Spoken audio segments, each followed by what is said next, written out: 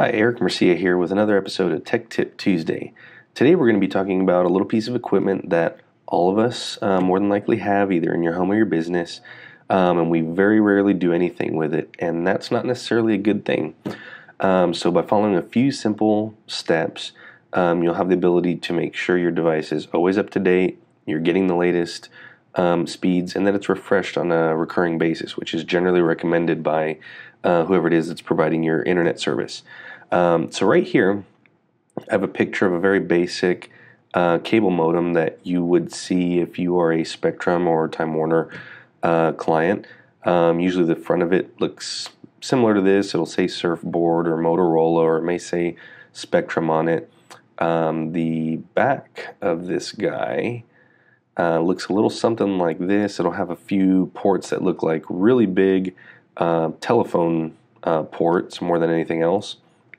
There will be a, a round connector on it where the traditional cable connection will feed in, and then there will be a little power outlet, or uh, yeah, power outlet for the power adapter down here. Um, if you have AT&T, you may see something that looks a little bit like this. Um, their stuff usually, probably almost always has the uh, AT&T logo on it.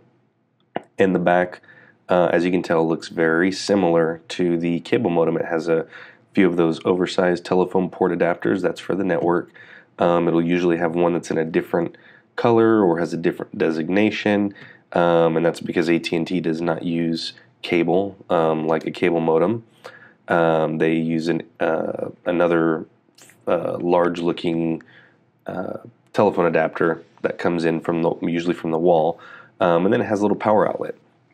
And one of the simplest things that you can do with either of these devices, um, put it on your calendar, uh, you know, write it down somewhere, set a, a reminder.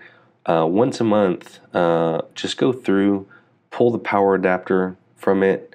Uh, if you have an AT&T modem, it'll usually be at the very bottom. I believe the same is true. Yep, on the um, Spectrum equipment. Just find that device, pull the power adapter on it, let it sit without power for you know one maybe two minutes. Plug it back in. Um, that'll ensure that it refreshes the device. Uh, any updates that may have been pending get pushed through. Um, if the uh, internet service provider has upgraded speeds and things like that, that'll also get pushed through uh, as well. And it's just a good practice. It's kind of like restarting your computer. So that's today's tech tip. Look forward to talking to you again next week.